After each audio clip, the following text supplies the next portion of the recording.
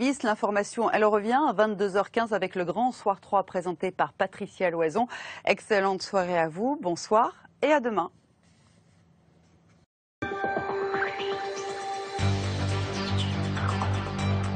Refermons cette édition des initiatives dans les rues de Paris avec un pianiste original. Il joue sur les trottoirs de la capitale. Le drôle d'endroit, me diriez-vous, pour donner un concert? Eh bien, c'est ce qu'il fait, ce musicien. Il donne des récitals en plein air et gratuits.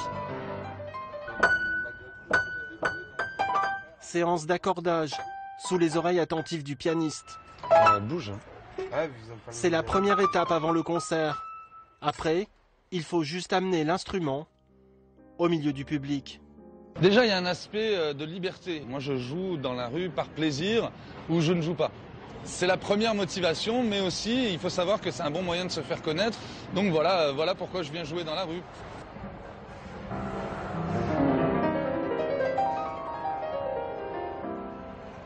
Le pianiste Stevie Lamasson sait interpréter Mozart et Vivaldi. Mais il joue surtout ses propres compositions.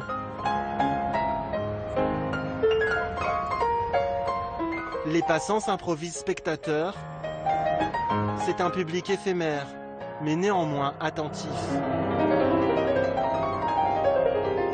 C'est euh, très agréable au détour d'une rue de tomber sur un pianiste euh, qui joue aussi bien en plus.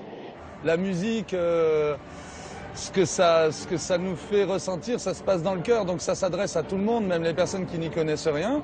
Donc dans la rue, on peut avoir on peut toucher les gens euh, de la même manière que dans le cadre de l'opéra à l'intérieur, euh, euh, avec un joli décor et tout ça.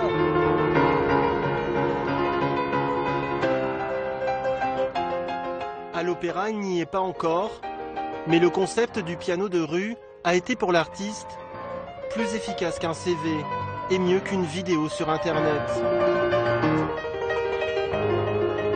Il lui a permis de lancer sa carrière.